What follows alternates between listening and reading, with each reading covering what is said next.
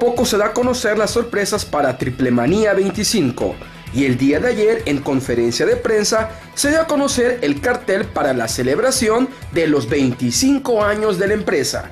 Lógicamente más adelante pienso hacer un video con el cartel completo, ya que con eso de que el vampiro modifica todo a última hora, puede que se cambie en los próximos días. Pero de lo que quisiera comentar, el torneo Triple Manía, que promete 30 luchadores de todas las etapas de AAA lo que nos deja con muchas interrogantes de qué luchadores podrían ser. ¿Luchadores botargas como la Parca Negra o realmente personajes que marcaron historia en la empresa?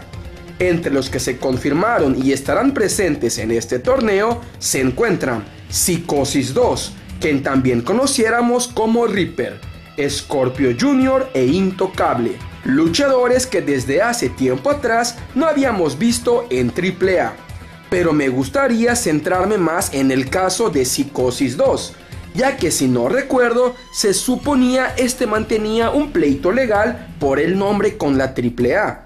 ¿Será que ya se solucionaron estos problemas o se dio cuenta de que por fin la gente lo ubica como psicosis y no como Reaper?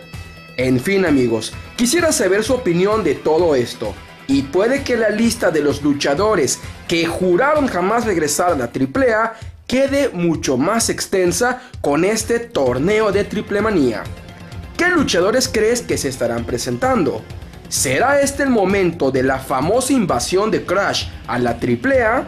Solo el tiempo lo dirá. Si el video te gustó, regálame una manita arriba y suscríbete para más videos como estos. Yo soy tu amigo Misel Quijano, nos vemos, hasta la próxima.